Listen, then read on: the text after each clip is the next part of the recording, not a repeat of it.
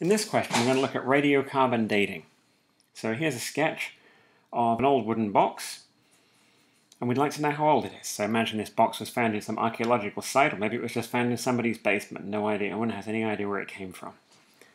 Is there some way to figure out how old it is? So we're going to use the principle of radiocarbon dating. So the information we're given in this question says that just 6% of the carbon-14 that modern trees contain is present in the wood from which this box is made. So if you don't remember, carbon-14 is produced in the upper atmosphere by nitrogen molecules which are hit by cosmic ray particles which turn them into a new element, the element carbon-14, which is an unstable isotope. And then carbon-14 is in the air, it becomes part of um, carbon dioxide in the air, it gets picked up by trees and plants, the plants turn it into carbohydrates and it gets locked into wood.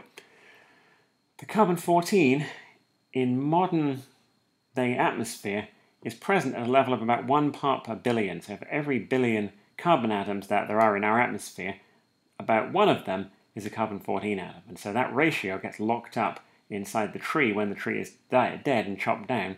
And then as time goes on, the carbon-14 atoms gradually decay away and the regular carbon atoms remain. And so when it says here that just 6% of the carbon-14 that modern trees contain, this means that scientists somehow took a sample of this wood, analysed the carbon, and found that there was far less carbon-14 compared to carbon than there should be if it was new, and so we could figure out how old it is. Okay, so we're going to use the principle of the uh, exponential decay law.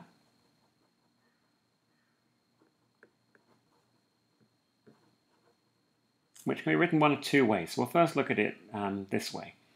The exponential decay law says that the number of atoms remaining after a certain amount of time t is equal to the number of atoms that were originally present multiplied by e, which is the Euler's constant, or the exponential constant, to the power minus pt. Now what is p? p is the decay probability. For those specific atoms, t is the time elapsed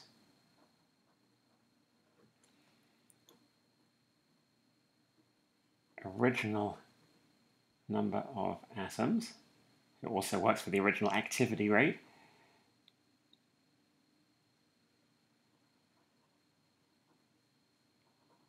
Number of atoms remaining. So let's see if we can solve the problem. Do we know the decay constant for carbon-14? Okay, so that's what we need to know. So for carbon-14, the decay constant P is very small, or at least it sounds very small when you write it down. It's 3.94 times 10 to the minus 12 per second. So what this means is that if you had one carbon-14 atom sitting on this table, here it is, our imaginary carbon-14 atom, that the probability that it would decay in the next second is about 3.94 times 10 to the minus 12. So it's very, very unlikely that this atom will decay. This, on the other hand, means that carbon-14 has a long half-life, so it sticks around a long time, which makes it useful for this kind of dating method. So let's try and solve the problem. So we'll take the equation from up here and try and rearrange it to make t the subject of the formula. So let's just first bring the n over n naught over to the left. That gives us n over n naught, the ratio of the amount of atoms left to the original number, and this is going to be our 6%. This is the ratio remaining e to the minus pt. Let's get rid of that atom from up there for now. Now we can take logs of both sides, so this is e, the exponential function, so we're going to take the natural log, ln, n over n0, equals minus pt, and then we can rearrange a bit more, so we've got 1 over p equals t. We can put it the other way around if you prefer. Then we can put in the numbers. So what is P? Let's put it in. 3.94 times 10 to the minus 12. Now remember that's in per second. Times the log of 6%, 0.06. That's where the 6% came from. And then if you put this into your calculator,